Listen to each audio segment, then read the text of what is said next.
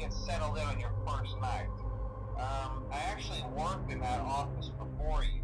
I'm finishing up my last week now, as a matter of fact. So I know it can be a bit overwhelming, but I'm here to tell you there's nothing to worry about. You'll be fine. So let's just focus on getting you through your first week, okay? Uh, let's see. First, there's an introductory greeting from the company that I'm supposed to read. It's kind of a legal thing, you know.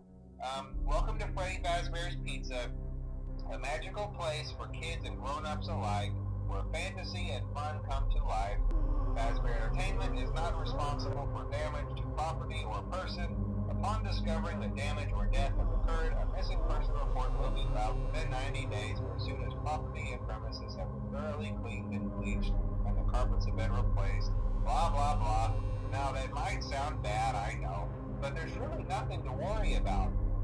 Uh, the animatronic characters here do get a bit quirky at night, but do I blame them? No.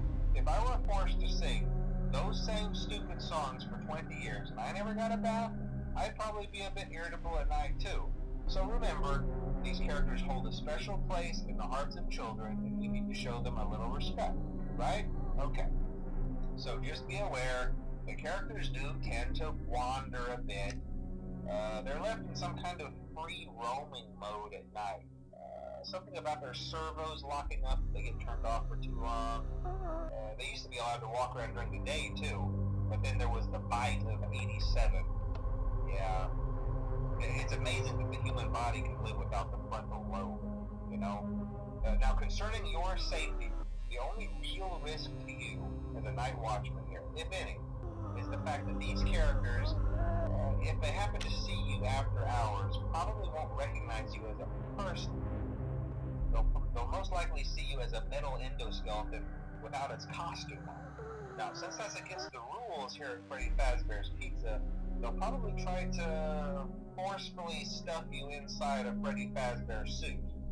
Um, now, that wouldn't be so bad if the suits themselves weren't filled with cross beams, wires, and animatronic devices, especially around the facial area. So you can imagine how having your head forcibly pressed inside one of those could cause a bit of discomfort and death. Uh, the only parts of you that would likely see the light of day again would be your eyeballs and teeth when they pop out the front of the mask. yeah, they don't tell you these things when you sign up. But hey, first station of the breeze. I'll chat with you tomorrow. Uh, check those cameras and remember to close the doors only if absolutely necessary.